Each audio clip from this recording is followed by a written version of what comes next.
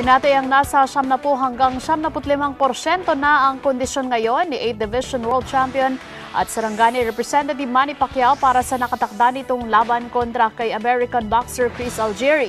Ay mismo kay Assistant Trainer Buboy Fernandez, tinututukan nila ngayon ang stamina ng fighting congressman para maging mas impresibo ang uh, maipakita nito lalo na sa ibabaw ng ring. Samantala humihingi naman ng paumanhin si Fernandez sa publiko bunsod ng pagbabawal nila sa mga fan na bumisita sa Pacman Wildcard Gym habang nagpapatuloy ang kanilang training.